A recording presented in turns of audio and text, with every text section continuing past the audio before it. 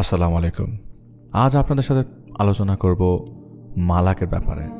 মালাক অর্থাৎ ফেরেশতা। আল্লাহ মালাকদের বহু বৈশিষ্ট্য বর্ণনা করেছেন। বলা যায় আল্লাহর সৈন্যবাহিনী হচ্ছেন মালাক, মালাকগণ। এ বিষয়ে আল্লাহ বলেন তিনি মুমিনদের দিলে প্রশান্তি নাজিল করেন, যাতে তারা তাদের ইমানের সাথে আরও ইমান বাড়িয়ে নেয়। আসমান ও জমিনের যাবতীয় বাহিনী আল্লাহর কর্তৃত্বের অধীন।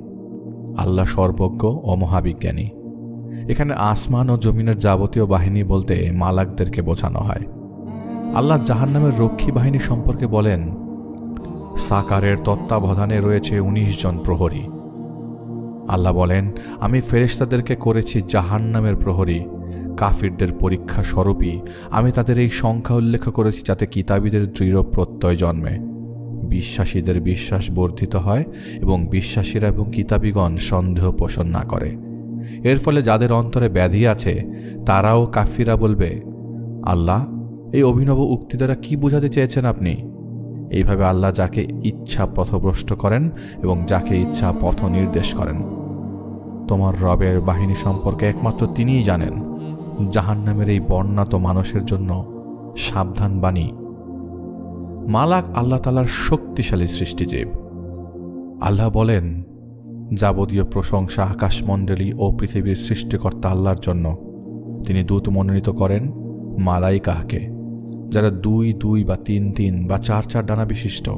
তিনি সৃষ্টিতে যা ইচ্ছে বৃদ্ধি করেন, আল্লাহ সকল বিষয়ের উপর সর্বশক্তিমান। আল্লাহ জিব্রিল আলাহাল্লাম সম্পর্কে বলেন, তাকে শিক্ষা দেয় শক্তিশালী মালাক।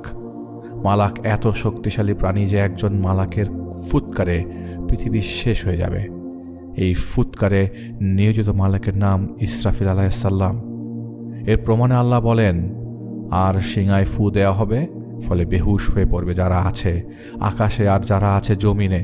তবে আল্লাহর ইচ্ছায় এ থেকে যে রেহাই পাবে, তার কথা ভিন্ন। অতপর সিংহায় আবার ফুক দেওয়া হবে, তখন তারা দাঁড়িয়ে তাকাতে থাকবে।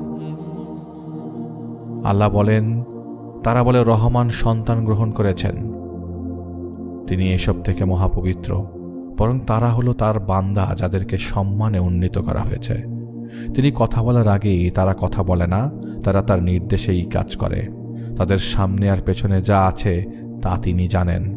তিনি যাদের প্রতি খুবই সন্তুষ্ট, তাদের ব্যাপার ছাড়া তারা কোনো সুপারিশ করে না। তারা তার ভয় ও সম্মানে ভীত ও সন্তুষ্ট। তারা হলো তার বান্ধা যাদেরকে সম্মানান্বিত করা হয়েছে। ফেরিস্তাগণ ঘুমের জগতে মানুষের রুখ নিয়ন্ত্রণ করতে পারে। ঘুমের মাধ্যমে ইমানদার বান্দাদেরকে ভালো ভালো স্বপ্ন দেখাতে পারে। এক্ষেত্রে একটা স্বপ্ন আপনাদের শোনাতে চাই।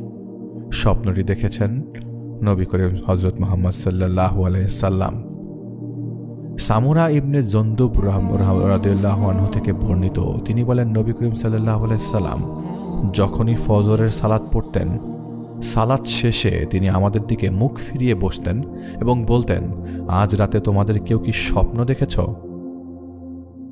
সামুরা ইবনে জন্দুবুর রহমদ রাদিউল্লাহনহু বলেন, কেউ স্বপ্ন দেখে থাকলে তা বর্ণনা করত এবং তিনি আল্লাহ যেমন চাইতেন, সেভাবে তার তাবির করতেন। একদিন তিনি আমাদেরকে স্বপ্ন সম্পর্কে প্রশ্ন করে বললেন, তোমাদের কেউ কি আজ স্বপ্ন দেখেছ? আমরা জবাব দিলাম, না। তখন তিনি বললেন, আমি কিন্তু আজ রাতে স্বপ্নে দুজন ব্যক্তিকে দেখেছি। তারা আমার নিকটে এসে আমার হাত ধরে এক পবিত্র স্থানে নিয়ে গেল। হঠাৎ দেখতে পেলাম এক ব্যক্তি বসে আছে আর তার পাশেই আরেক ব্যক্তি দাঁড়িয়ে আছে। আমাদের কোনো কোনো বন্ধু বলেছেন তার হাতে আছে লোহার কাঁটা। সেটি সে বসা মানুষটির চোয়ালে ঢুকিয়ে দিচ্ছে এবং তা বিদীর্ণ করে ফেলছে এবং অনুরূপভাবে অপর চোয়ালেও ঢুকিয়ে তা বিদীর্ণ করে ফেলছে। ইতিমধ্যে তার প্রথমোক্ত চোয়ালটি জোড়া লেগে ভালো হয়ে যাচ্ছে। সুতরাং সে এই চোয়ালটিতে আবার কাটা ঢুকিয়ে আগের মতো করছে। নবী করিম সাল্লাহ আলাইসাল্লাম বললেন, আমি বললাম একই ব্যাপার? তারা দুজন বলল, চলেন। সুতরাং আমরা যেতে থাকলাম এবং এক ব্যক্তির নিকট পৌঁছালাম। সে চিত হয়ে শুয়ে আছে, আর অপর এক ব্যক্তি মাথার কাছে একখণ্ড পাথর হাতে দাঁড়িয়ে আছে এবং পাথরটি তার মাথার উপর নিক্ষেপ করছে। যখন সে তাকে মারছে প্রস্তর খণ্ডটি ছিটকে মস্তক থেকে দূরে গিয়ে পড়ছে। লোকটা তা কুড়িয়ে নিয়ে আনছে, কিন্তু ফিরে আসার আগেই এই ব্যক্তির মাথা জোড়া লেগে পূর্বের মতোই হয়ে যাচ্ছে। তারপর লোকটি ফিরে এসে পাথর দ্বারা পুনরায় তাকে আঘাত করছে। রাসুল্লাহ সাল্লাহ সাল্লাম বললেন, আমি প্রশ্ন করলাম, এ ব্যক্তিটি কে? তারা দুজন বলল, আগে চলুন। আমরা অগ্রসর হলাম এবং চুলার মতো একটি গর্তের নিকট গিয়ে পৌঁছালাম। এটির উপরিভাগ ছিল সংকীর্ণ। কিন্তু নিম্নভাগ প্রশস্ত আর এর নিচে ছিল জ্বলন্ত আগুন।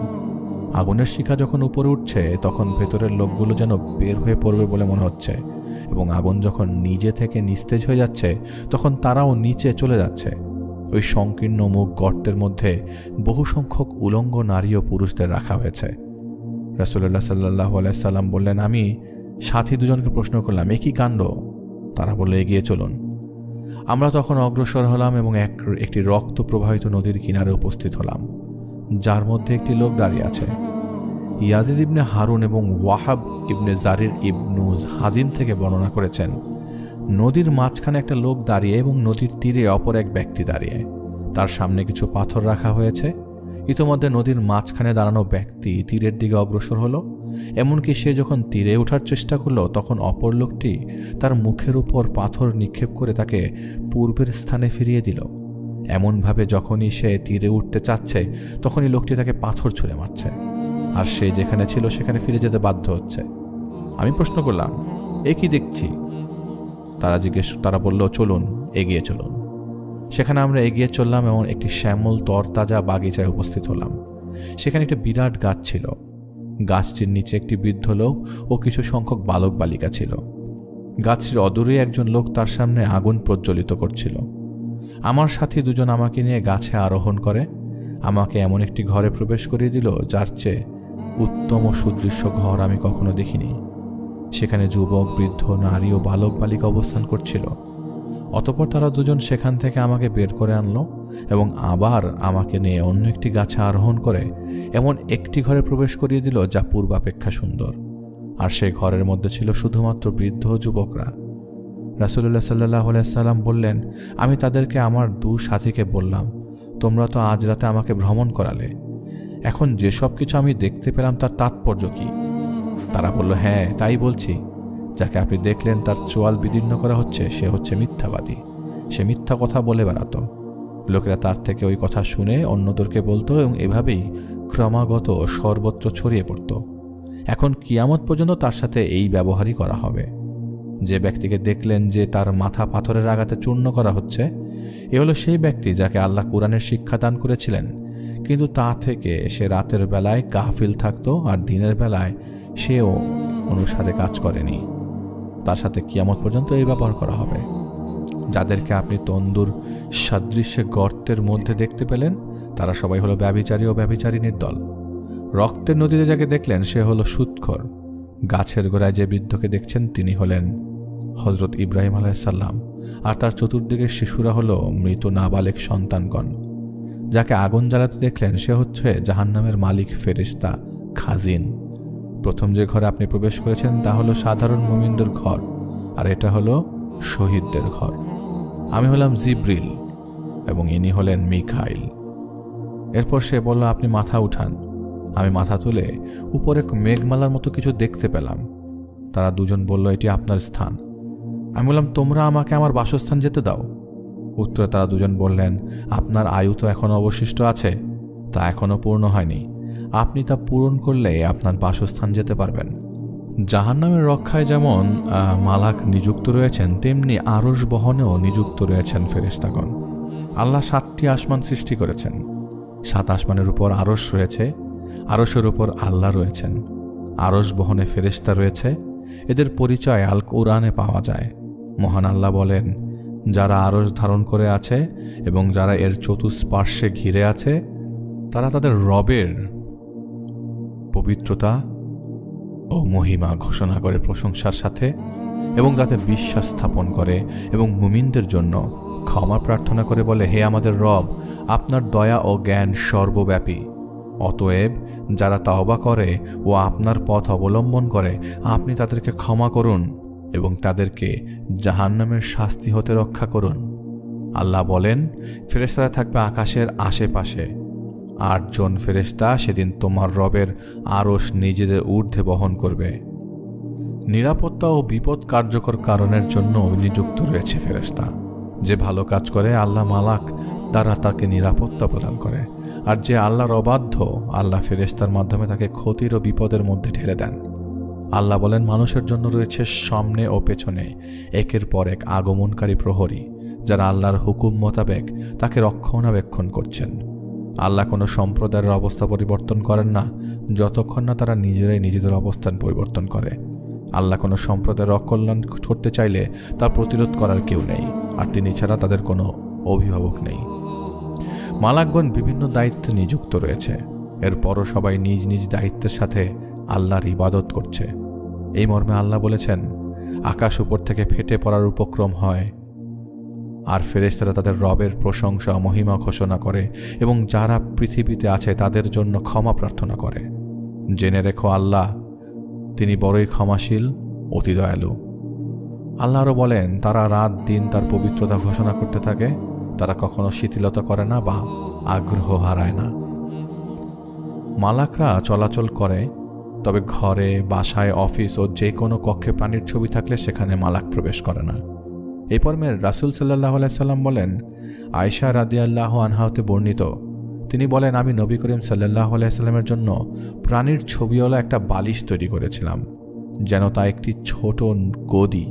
অতপর তিনি আমার ঘরে এসে দু দরজার মধ্যে দাঁড়ালেন আর তার চেহারা মলিন হয়ে গেল। তখন আমি বললাম, হে আল্লাহর রাসুল সাল্লাহ সাল্লাম, আমার কি অন্যায় হয়েছে? তিনি বললেন, এই বালিশটি কেন? আমি বললাম, এই বালিশটি আপনি এর উপর ঠেস দিয়ে বসতে পারেন, সেজন্য তৈরি করেছি। নবী করিম সাল্লাহ আলাইসাল্লাম বললেন, তুমি কি জানো না যে ঘরে প্রাণীর ছবি থাকে, সেখানে ফেরেস্তা প্রবেশ করেন না?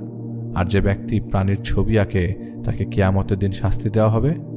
আল্লাহ বলবেন, বানিয়েছ, এবার তাকে জীবিত করো। হাদিস আরও আছে, ইবনু আব্বাস রাদি আল্লাহ হতে বর্ণিত। তিনি বলেন, নবী করিম সাল্লাহ সাল্লাম একবার কাবা ঘরে প্রবেশ করলেন। সেখানে তিনি ইব্রাহিম আলাইসাল্লামের ও মারিয়ামের ছবি দেখতে পেলেন। তখন তিনি বললেন, তাদের কি হলো? অথচ তারা তো শুনতে পেয়েছে যে ঘরে প্রাণীর ছবি থাকবে, সে ঘরে ফেরেস্তা মণ্ডলী প্রবেশ করবে না। সুহান আল্লাহ নবী করিম সাল্লা ইব্রাহিম আলাহিসাল্লামের মতো জাতির পিতার ছবি লটকানেতে যদি মালাক ঘরে না ঢোকে, তাহলে এমন কোনো মহান নেতা আছেন যার ছবি ঘরে বাহিরে অফিসে আদালতে লটকানো যাবে? সকল প্রাণীর মৃত্যু হবে। মৃত্যুর হাত থেকে কেউ রক্ষা পাবে না। মালাকদেরও মৃত্যু হবে, অথবা ফেরিস্তাদেরও মৃত্যু হবে। আল্লাহ বলেন, আর সিংগায় ফু দেওয়া হবে, ফলে বেহুশ হয়ে পড়বে যারা আছে, আকাশে আর যারা আছে জমিনে। তবে আল্লাহর ইচ্ছায় এ থেকে যে রেহাই পাবে, তার কথা ভিন্ন। আবারও সিংহায় ফু দেওয়া হবে এবং তারা দাঁড়িয়ে তাকাতে থাকবে। আল্লাহর সঙ্গে অন্য কোনো ইলাহকে ডেকো না। তিনি ছাড়া সত্যিকারের কোনো ইলাহ নেই। তার সত্য ছাড়া সকল কিছুই ধ্বংসশীল। বিধান তারই, আর তার কাছেই তোমাদেরকে ফিরিয়ে আনা হবে। এতক্ষণ পর্যন্ত আপনাদেরকে বললাম ফেরেস্তাদের ব্যাপারে ছোট কিছু পরিচয়। আপনারা যদি আমাদের আজকের ভিডিওটি পছন্দ করে থাকেন, অবশ্যই সেটি আমাদেরকে লাইক এবং সাবস্ক্রিপশনের মাধ্যমে জানাবেন। আপনাদের আরেকটা রিকোয়েস্ট থাকল, আপনারা যদি কোনো ভিডিওর ব্যাপারে অথবা কোনো কিছুর ব্যাপারে আপনারা ইন্টারেস্টেড হন, তাহলে সেটা কমেন্টের মাধ্যমে জানাবেন। আমরা সেটা অবশ্যই আপনাদের সামনে নিয়ে আসার অথবা তুলে ধরার চেষ্টা করব। আল্লাহ তালা আমাদের সবাইকে দিনই আমল করার তফিক দান করুক। সবাই ভালো থাকবেন। আসসালামু আলাইকুম।